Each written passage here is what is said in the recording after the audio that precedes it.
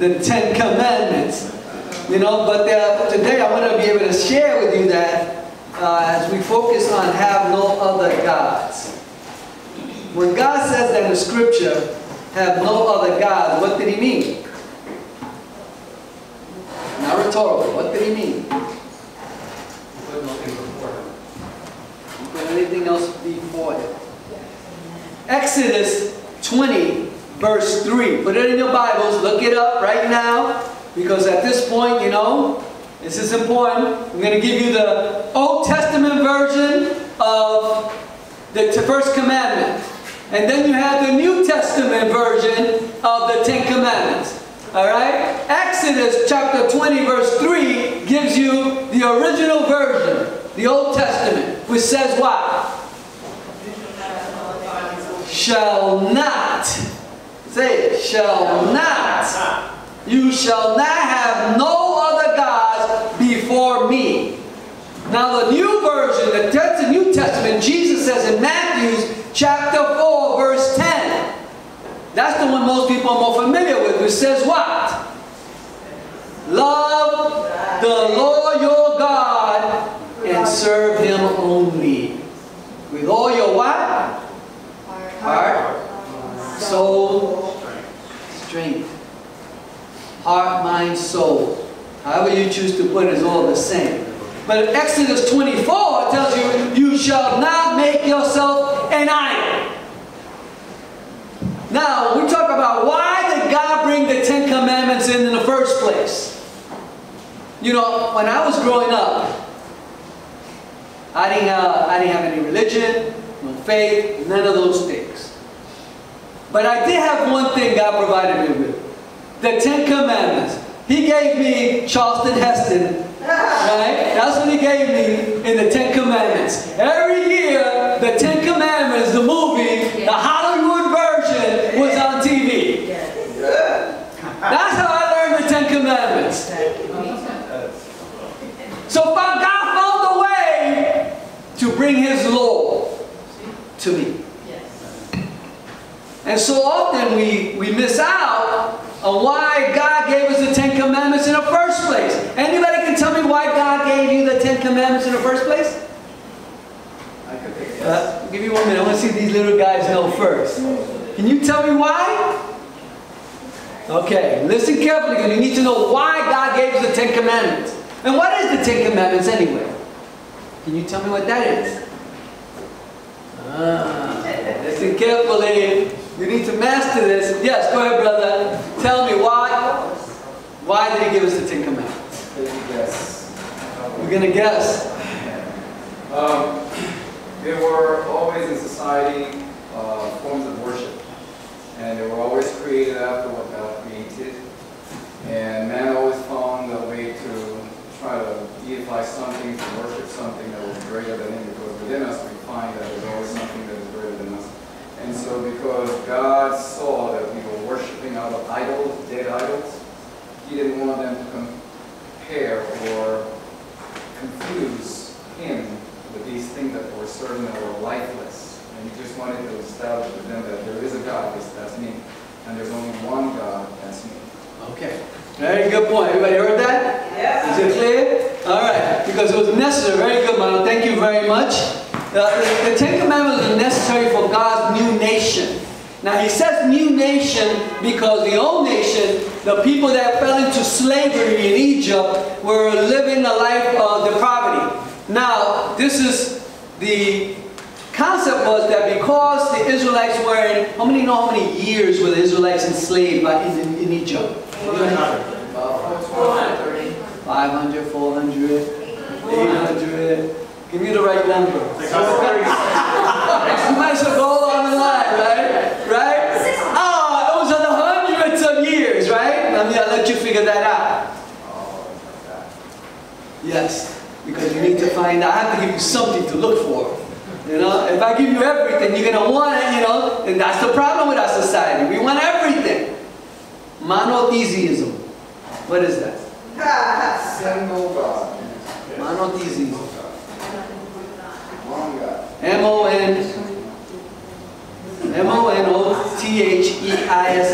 Monotheism. What it mean? It's the belief in only one God. But the problem was that in Egypt they had many gods and many idols. That's what they worshiped. And for the 700 years that they were a slave in Egypt, they gods. And the more gods you had meant what?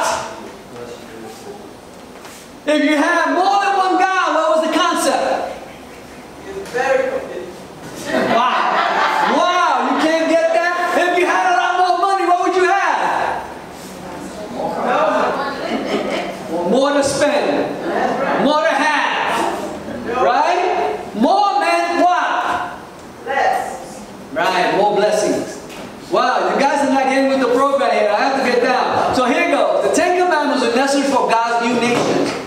Right? But God's intention was to, uh, for a true function. He wanted us to truly understand Him and understand His purpose for us, as well as the beauty of the law. The law, the Ten Commandments, were meant to be beautiful, effective, wonderful, good, a blessing. It was meant to produce all the good things in life. Amen. So he gave you something, the Ten Commandments. But people saw the Ten Commandments now because there was a problem. When you're used to having many gods, and all of a sudden God says, uh, there's only one God, what's going to be the problem? Believe. It's also, it's going to hurt the economy. Yeah, well, in a lot of sense, yes, because they've made a lot of money of having a lot of gods. But the purpose to lead them, he wanted the, the Ten Commandments for the, so they could understand the purpose of understanding that he was the only one God. But he wanted to lead them into a life uh, of practical holiness. He wanted to say, I created you to be holy. I created you to be good. I created you to produce good fruit. But you can only get that if you understand the concept of having one God, the only God. The God of who? Abraham, Isaac, and Jacob. The God of the creator of all the earth. That's the one God. So when he says, shall not have any other God before me, he was throwing them, giving them something they weren't used to, a concept. See, the law were, were designed to direct the community to meet the needs of each individual. So in a community, every individual, this need, every individual's need was going to be met by the Ten Commandments. But the first commandment covered all the other commandments. I want you to keep that in mind. The first commandment, which if we look at it in Matthew chapter 4, verse 10, to love the Lord your God with all your heart, mind, soul, strength, and however you want to put it, there is in that one. You comply with that one, and you fulfill all the others. So he wanted to sort of show us what he had for us. He wanted us to understand the concept. He says, never lose sight of the fact that the world judges you at this point because of you serving just one God. And we're going to have going to be challenged. But the point, point of this sermon today is to develop the strong family. We cannot develop a strong family without this number one concept. Now, because uh, they have so many other gods we've gotten so used to, see, uh, and, and God says, now I need you to be responsible. Remember, we got to break habits. by Jesus' time, most of the people, by Jesus' time, at the time Jesus came along, most people looked at the law the wrong way. They saw it as more as a means, a means to three things, prosperity.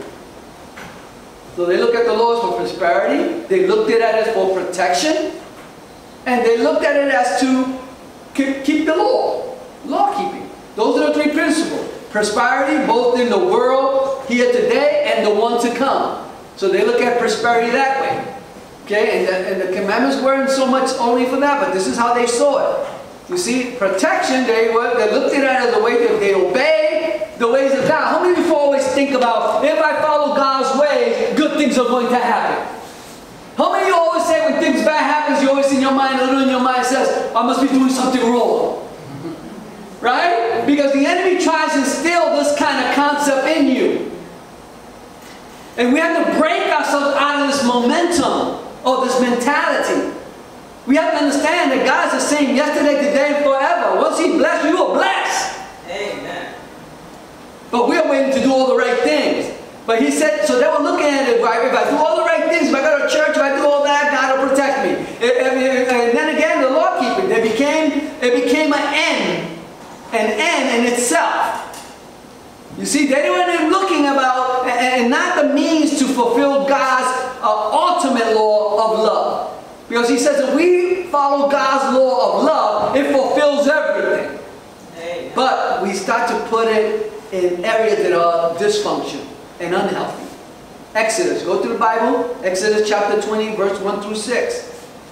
And he's going to tell you as you start reading, Egypt had many gods, many idols. See, and these gods represented, represented a different aspect of life. Okay, gods. Anything could be your God. Anything. So often we don't even realize. You know what? I'm going to be honest with you today. I, I came to the danger, I mean really dangerous place of making Netflix my God. yeah.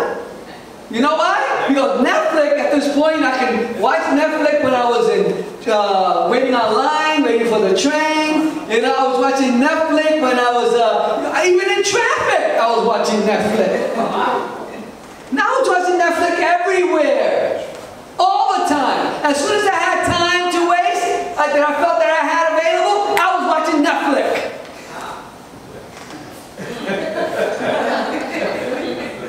that's that's a problem. But what did Netflix do for me? Nothing. yeah, no commercials, absolutely. Right? Entertainment. But remember, TV and all that stuff is a God because it's teaching you the morality of our times. It is coming into you one way or the other. You see? But what good is it giving you? It's giving you what are the three today, back in Egypt, there were many gods. You can't tell you how many gods and the animals and the idols they had. In the New Testament, there were three main gods, which I'm going to talk about next week. But I want to give you the three main gods were what? The god of sex was called what?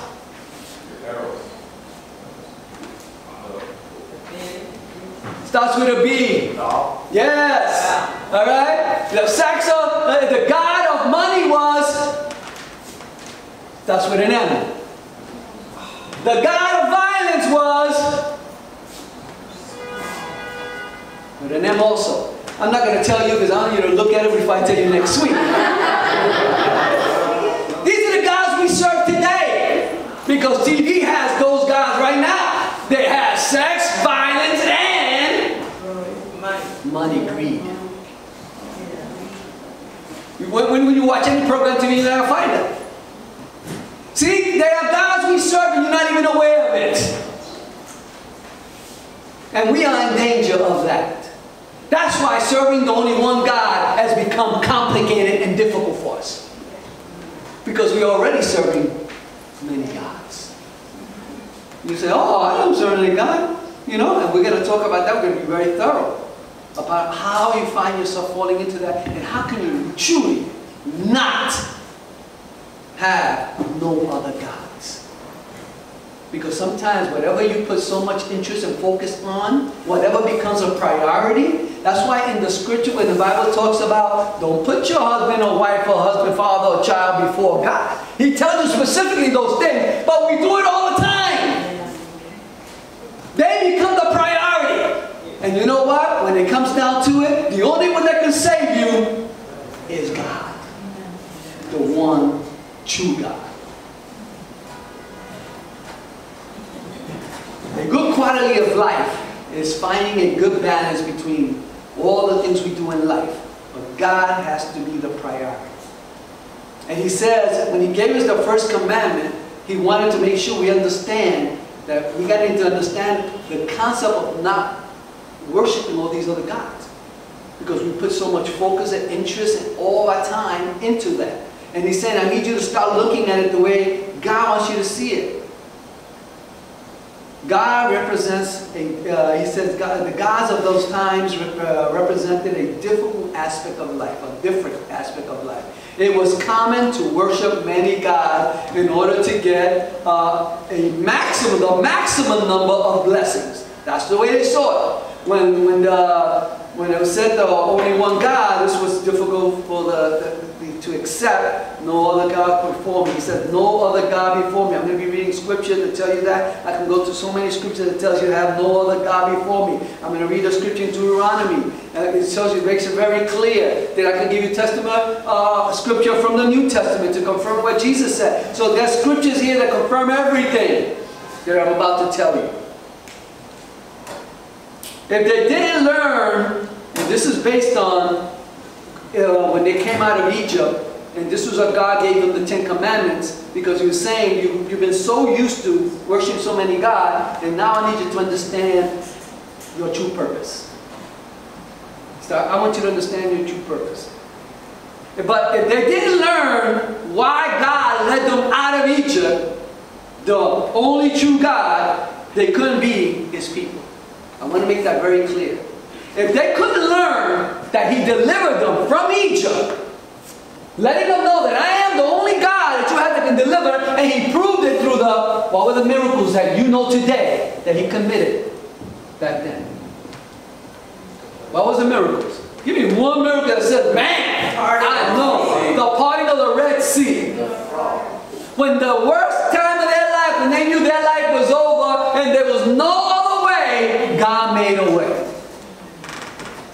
I told you weeks ago, choose three things in your list of what God has done to you to part that Red Sea in your life. Because you're going to need to hold on to that. As we move forward, especially. Because things may look like it's the end of the world for you, and God's just using that to part the Red Sea. Turn to someone. Are you ready? Or you're going to panic. So he said, you couldn't be my people if you can't understand why I delivered you out of Egypt. And why I'm telling you I'm the only God. He said, no matter how faithfully they kept the other nine commandments, doesn't matter. You can fulfill all the nine commandments, but if you fail to do the number one, none of the other nine is going to matter. Turn to someone and find out they understand that. See, God wasn't asking them to add one more God. That would have been easy for them to do. Because if you're used to doing all of this, and now I'm just going to do this, you know, I can do all the bad habits, but now I'm going to go to church. But if you continue doing all the bad habits, is it going to matter that you come to church?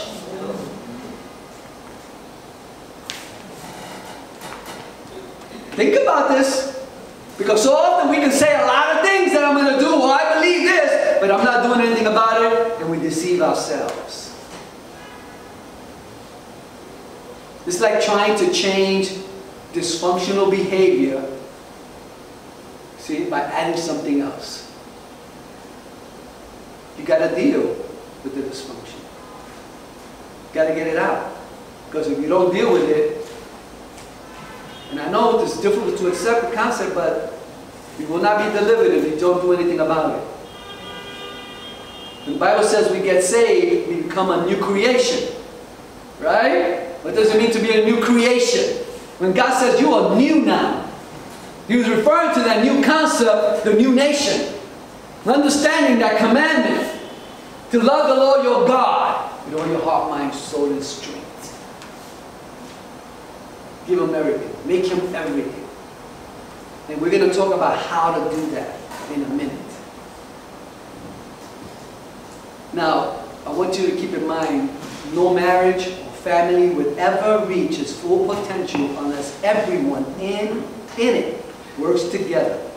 Unity purpose, respecting one another, relying on each other and, and each other's strengths and weaknesses. Because right now, this will expose all, of, all the things that, we are, that has been dysfunction in our lives. We need to understand that God had a purpose for everything. Turn your Bibles to Deuteronomy chapter 6. Tell me what you read. So I want to make sure this is clear. I'm going to put this there non-stop so you can hear it.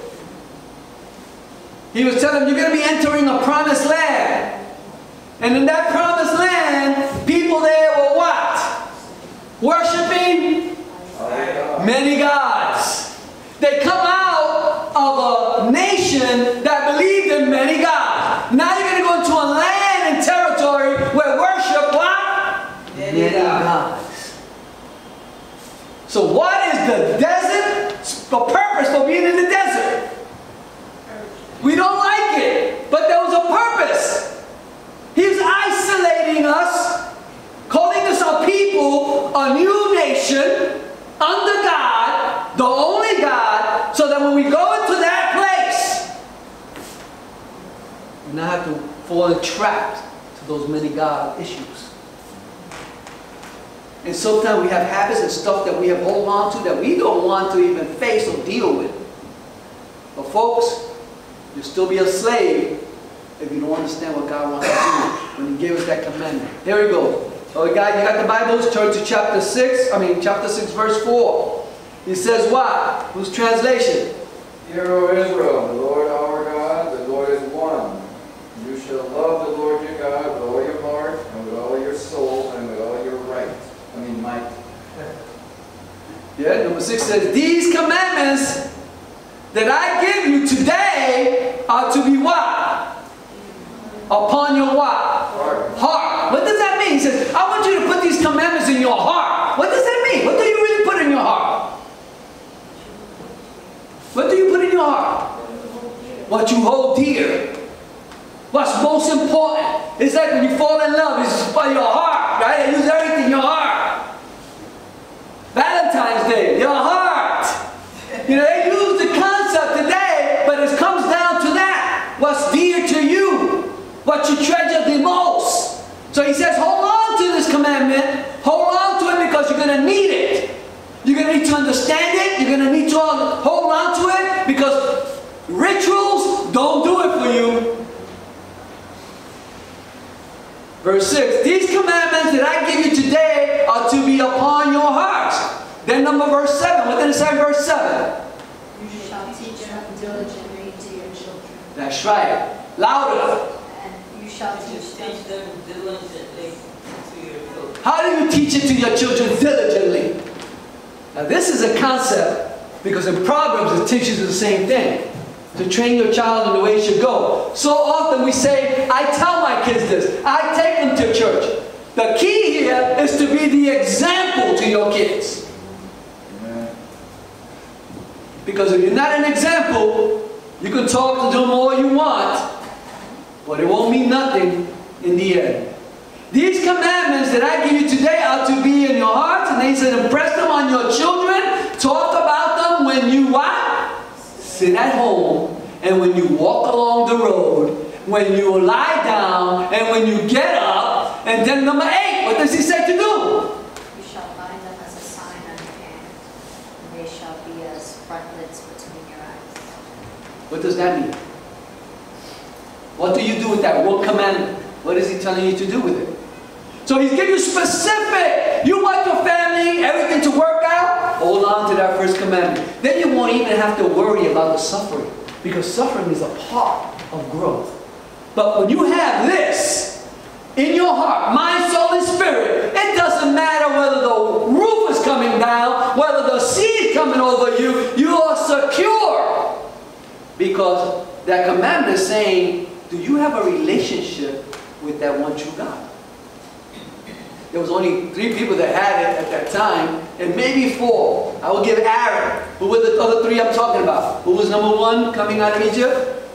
Who was the leader? Who, who was uh, one his right hand man? Joshua, Uh, but his brother Aaron was the one that was there that got sent to first with him. Then it was Joshua, and who was the last one? Caleb. Caleb. Think about what Caleb did, especially after conquered the promised land, because he did something far beyond what none of the other ones did.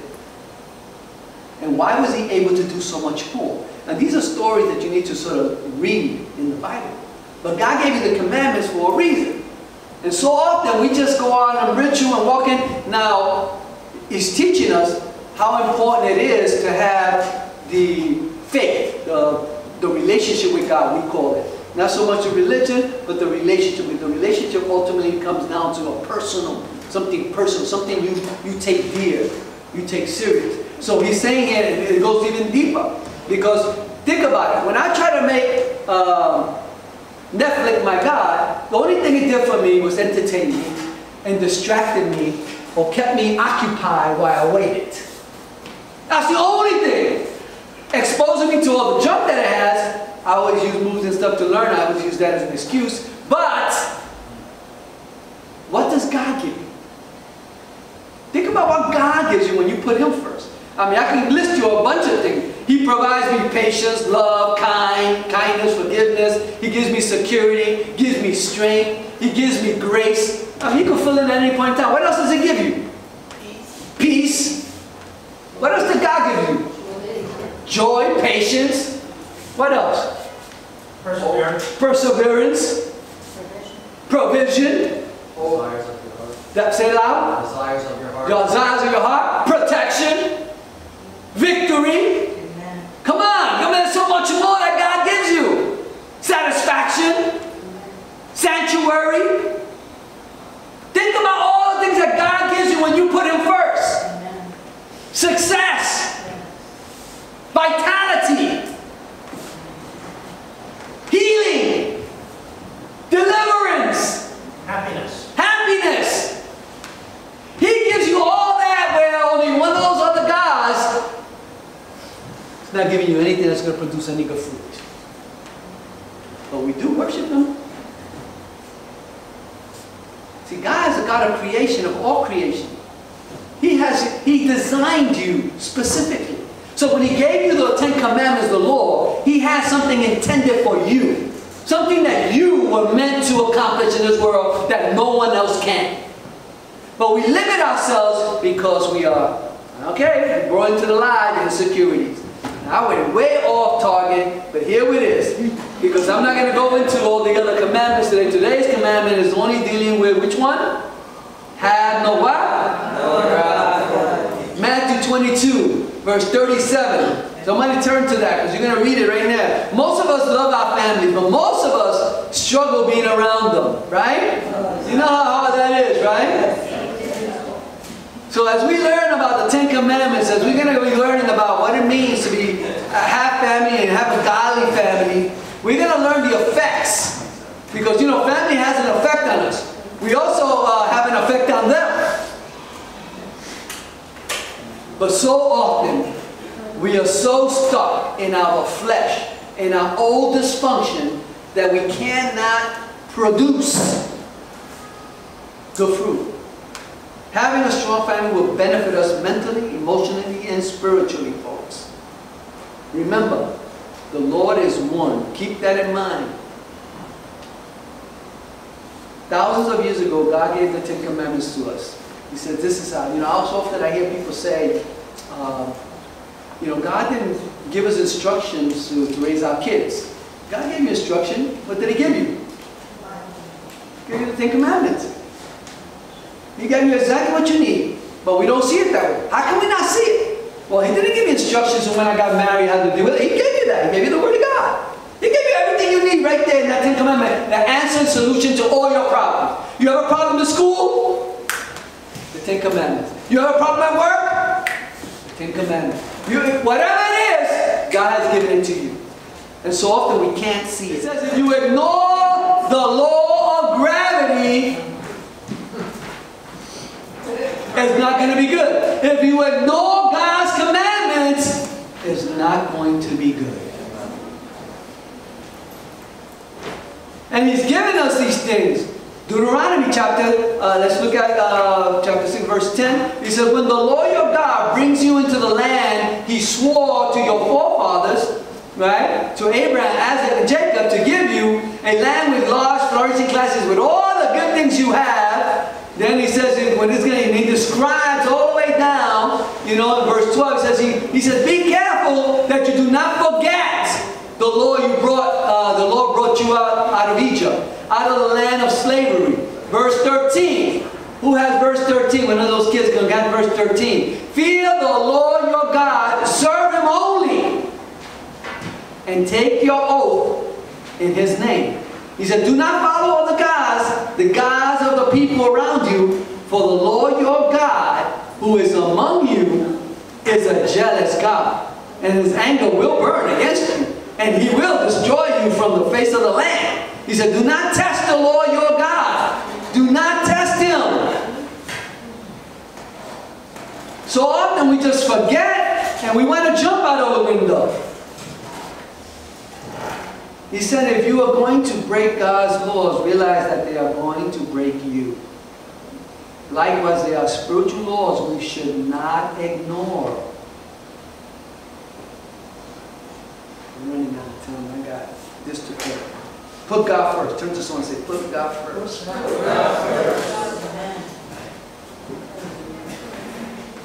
God says, I demand top priority in your life. I'm not going to play second fiddle to anything. And I keep emphasizing this point. He deserves to be number one because he made you. Everything you have in life is from God. What does he mean to have no other God before me? Right? What is he saying? What is God? The God is anything that dominates your life, anything that controls your life. People make careers, they're God. People make relationships, they're God. We've said that already. Everything God gives, give, uh, everything, every time God gives a principle, He also gives a promise. So whenever you see God's making a principle here, He's giving you a promise as well. Now, what, what is the promise? And, and there are plenty of promises what He'll give you if you follow Him and you understand. Now He's telling everyone here to say, uh, love the Lord your God. You see, when He says, uh, that's His command, His decree, His law, and He tells you, you teach Him to everyone else, and, and you are crossing the line, says, and you will prosper. You will prosper. You will be blessed beyond measure. But so often we worship other God thinking that they're going to give us the things we need. We put more time in the stuff that we think that this God, the money God, is going to give me this. No, only God can give you the things that's going to produce good. That money can enslave you. You become a slave to those gods. They look good. They have all those solutions. They got the formulas. They all look great, wonderful. But no, they'll enslave you. Put your trust in God, folks. The promise in everything you do, put God first and He will direct and crown your efforts with success. That's His promise. He gives you a promise. He said, do not want to be successful. He said, do you want to be successful? Put God first. Whenever you want God to bless you, put Him first in every area. We're still trying to make things on our own. If you want to be strong family, put God first. If you want to be strong marriage, put Him first. But how do we do this? Ah, here's the key. How do we do this? Are you ready for how do we do it? Yeah. All right, because I'm going to give it to you. I don't know if I'm going to have enough time to finish it all, but here, I'm going to give it to you either way. All right? We're going to start. Because at this point, we want you to understand that when God, is, eh, God put it in perspective for us when he, when he gave it to us. Now, they are, they're going to be a component. As you say first, we're going to follow first. F, spell it. F-I-R-S-T. Right, first. All right, you put them first in your finances. Proverbs 3, 9, 10. Honor the Lord by giving him first part of all your income. He will fill your barns overflow. But the God of mammon is going to tell you, hold on to it. Greed told you this is this is the way this is the first thing you need to do. God's always going to produce those things. People have a way of finding excuses not to do it. They probably won't even come to church because they figure, I don't come to church, I don't have to tithe this week. I don't go two weeks, I save another tithe. I don't go three weeks, I can save another three weeks. You're robbing yourself. But people want to believe that. God says, give me first. The first part of everything. Money is not a number, uh, it's the number one test of your priority. It is the number one test of your priority. We don't, we don't, we don't see it, but you know that's that's a principle. Deuteronomy 14, 23 tells you there as well. The purpose of tithing. It teaches you that. What is tithing? God says the first 10% of all you make goes back to Him. The purpose is simple to teach you to put God first. That is it. It's the principle. And when the principle comes a what? Promise. God, you're not keeping up. When the principle comes up, Promise. and what's the promise in that principle? He will multiply what? A hundred times.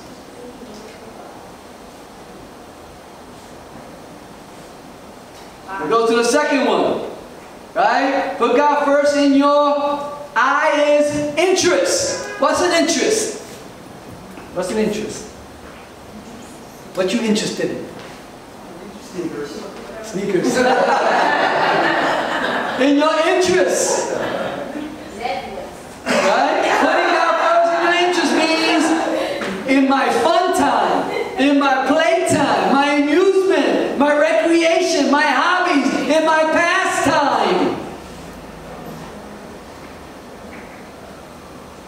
How do you put Him first in your interest? Do it with an attitude of gratitude. You have to put it as an attitude of gratitude. What He's provided you with. An acknowledgement. We go to the next one. And anyway, one scripture for that, 1 Corinthians chapter 10, verse 31. Whatever you do, do it all for the glory of God. R. Put Him first in your relationships. If you want God first in your life, you're going to have to choose your friends carefully, folks. So often we don't we don't take too much uh, time to consider that. Proverbs chapter 27, verse 19. What a man is really like is shown by the kind of friends he chooses.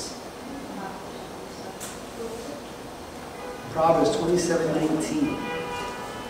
What does a friend have to do with God being first in your life? Think about that. What does God have to do with you choosing friends in your life? Because sometimes, um, your friend will draw you away from God. Yeah. They could do that so easily. Anybody else? You are who you hang out with. That's right. In the same way that you are what you eat, right? You know, that's those these are these are concepts that are there. Who do you invite to your home? What kind of strong values do they have? That's why when, when God says, listen, when you go to the promised land, you need to clean it out. Don't associate with these guys because they're going, that was their downfall. They went there and started to, you know, just do what they did to fit in. They didn't have to go there to fit in. They were supposed to understand that they were the, what were they? Standard. The standard. But they compromised. Proverbs 20, 12, 26. A righteous man is careful about his or her friendships. And you don't provide models for them to uh, uh, get at this book called peers, they're going to get it from TV. If you don't teach your kids what it is to have this kind of model, then they're going to get it from somewhere else. S. The S says that, put first. The S means schedule. That's right, schedule. Put God first in your schedule, in your time. Make the most of your time. Grasp firmly what you know to be the will of God. If you find yourself having more things to do than you have time to do, it means you're doing some things that are in God's will. God never puts more on you. Remember what he says in that scripture? He never puts more on you than you could put in your, uh, that you have to bear. Have structure, discipline. And here we go, we're going to go to the last one. And did I give you a, a scripture verse on that one? No. Well, I'm to get back to. Uh, uh, the scripture was the T. T. You ready? Put them first in your troubles. How do you put them in your troubles? Why do you turn? Who do you turn to when you are faced with unexpected problems and pressures? When you have a crisis? You try to solve it yourself? You try to go to your boy best friend? I mean, yes, we go to a team, a prayer team and pray, but you first got to go to who? God. The God. From Psalm 50, 15. Call upon me in your day of trouble, and I will deliver you, and you will be, and you will honor me. Let me say that again. Call upon me in your day of trouble, and I will deliver you, and you, you will honor me. And so often we try to fix the problems, and all fails. God says, turn to me first. Many people tie situations, run into everybody else before they stop and pray to God. When God is first in any of these five areas, we begin to worry. Uh, when God is not first, we begin to worry. Now, you know what the damage is for worry? Now, I'm not going to attempt to get into the part of worry because worry is, is a big problem in, in society and in our lives because it affects us in a lot of these areas I'm going to be giving you the next time we come together. It affects us and is damaging. Matthew 6.25, hold on to that scripture so you know. Also, Matthew 6.32 says, seeks the kingdom of God and put him first in everything, and then he gives you the promise. And he says, all the things shall be added to you. But in 6.25, he says, the ill effects of worry. Jesus tells us not to worry about those needs. That God promises to supply.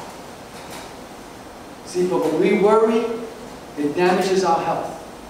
It causes us, causes us to, uh, the object of your worry to consume your thoughts. It disrupts productivity. It negatively affects the way you treat others. And five, it reduces your ability to trust in God. There's a difference between worry and genuine concern, folks.